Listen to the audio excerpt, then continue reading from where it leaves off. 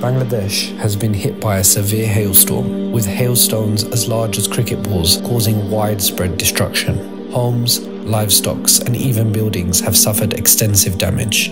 Families have been left homeless, their daily struggles intensified by this catastrophic event. These are the realities facing hundreds of communities, realities that demand our immediate attention and action. In response, CAP Foundation is on the ground, offering crucial support to those hit the hardest. As we navigate these blessed nights of Ramadan, it's a reminder of our duty to help those in need.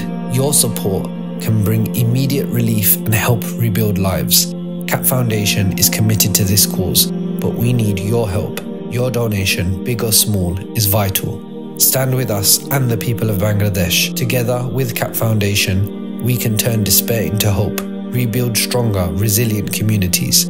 Your kindness is their strength.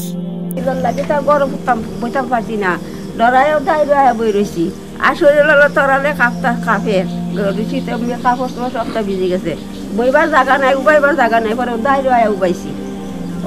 কিলা ঠিক তো টাকার জায়গা নাই, আমরা টিনের দরকার। ফুটতাম কিলা বইতাম কিলা না খাইয়া বই থাকল শান্তি